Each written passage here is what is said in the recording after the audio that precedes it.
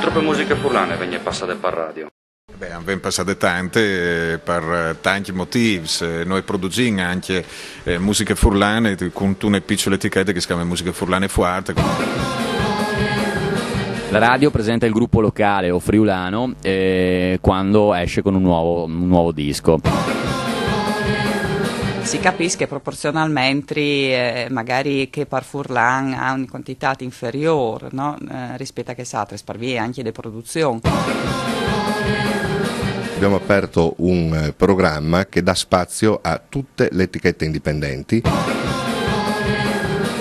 Noi la musica friulana o la musica in friulano saremmo disposti a metterla in onda in qualsiasi momento, bastasse che avesse appunto i requisiti che noi richiediamo.